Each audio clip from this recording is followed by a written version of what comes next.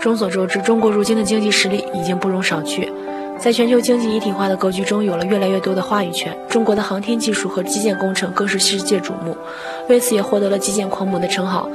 这不又有消息称，中国又有了新动作，中国会将喜马拉雅山打穿。尼泊尔举国欢庆，称真是神奇的国度。大家都知道，喜马拉雅山的中段珠穆朗玛峰一半位于中国，一半位于尼泊尔。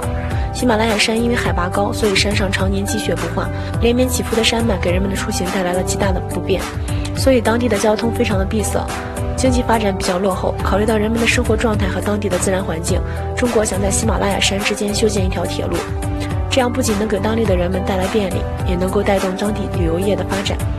更能够加强中国和尼泊尔之间的经济文化交流，可以说是一举三得。当然，成功的背后必然有辛苦的付出，在山脉之间修建铁路可谓是异常艰辛的。